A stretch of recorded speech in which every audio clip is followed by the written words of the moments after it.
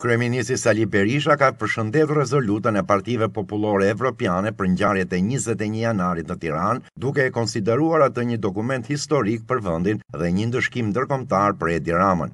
Në mbledhjen e grupit parlamentar demokrat, kryeministri citoi disa paragrafe të rezolutës që u miratuan më njëmbëdhjetë shkurt në Bruksel nga shtatëdhjetë e pesë partitë popullore evropiane, grupimi më i madh politik i qendrës së djathtë në Europë dhe që përbën shumicën dërrmuese në Parlamentin Evropian, Komisionin Evropian dhe në të gjitha institucionet e mëdha evropiane.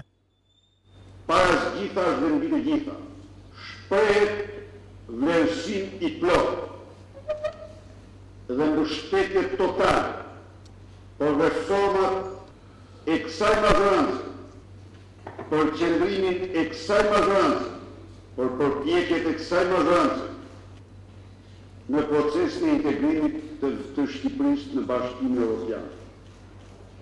Por, rezoluta dënon në një rast unik për një vend të lirë që nga Lufta e Dytë Botërore deri sot përpjekjen e zotit Edi Rama në krye të Partisë Socialiste për të përmbysur me dhunë qeverinë legjitime të Shqipërisë. Kjo përbën një ndëshkim madhor ndërkombëtar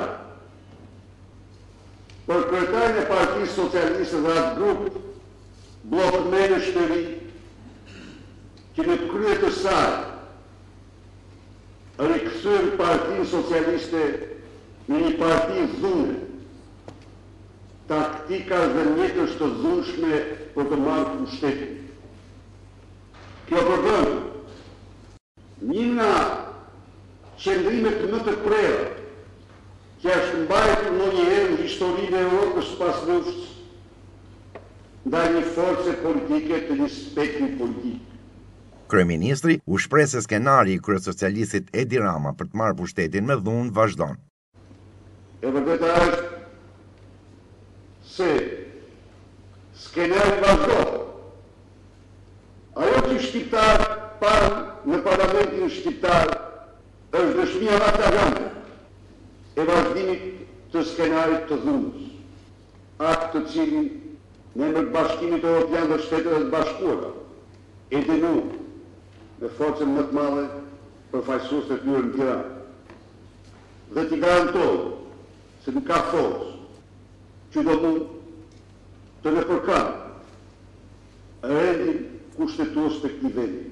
Garantojmë partitë simotra, garantojmë kryetarët shqiptarë se asnjë aventurier, asnjë axhamillëk, askërkush nuk do mund të Mposhtë institucionet e këtij vendi të lirë, rendin kushtetues legjitim të tij,